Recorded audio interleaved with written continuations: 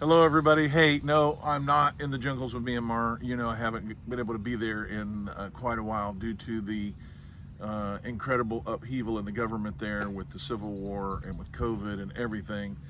Um, I'm just here in my yard in a place that's really, really bright and sunny out, and I had to find some place with uh, natural light but some shade. This is pretty much an all call to those who know Pastor Nang Tong. Um, those who've been supporting him and loving him and being a part of his journey for a long time.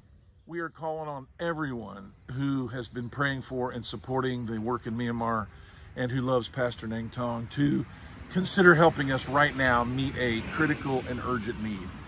Uh, many of you may have seen that we've been working for years to put together a uh, self-sustaining business in the area. We were building a stadium you may not have even heard, but the stadium was destroyed in a storm.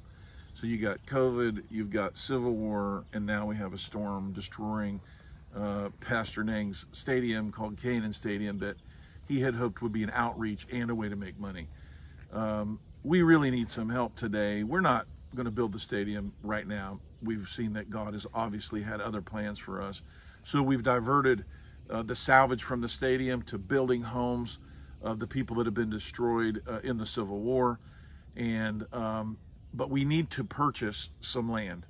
And Pastor Nang has even sold some of his property back in Chin State to try to make this happen. There's a rare opportunity to get uh, some land for a discounted price that is going to help the future of this ministry. We have been working for years to try to move the orphans from where they are in Rakhine closer to where Pastor Nang's house is.